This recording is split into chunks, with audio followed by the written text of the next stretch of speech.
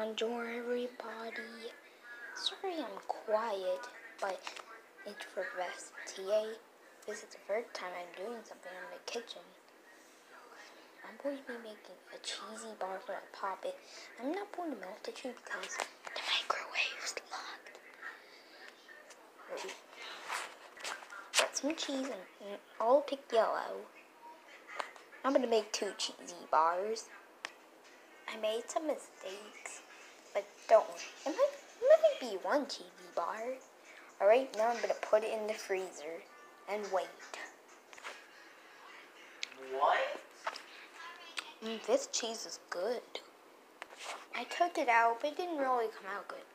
But the fun part is you get to pop it out. Well, this isn't my pop it. I don't even know mine. So these were my cheesy bars that did not work out. Bye, guys.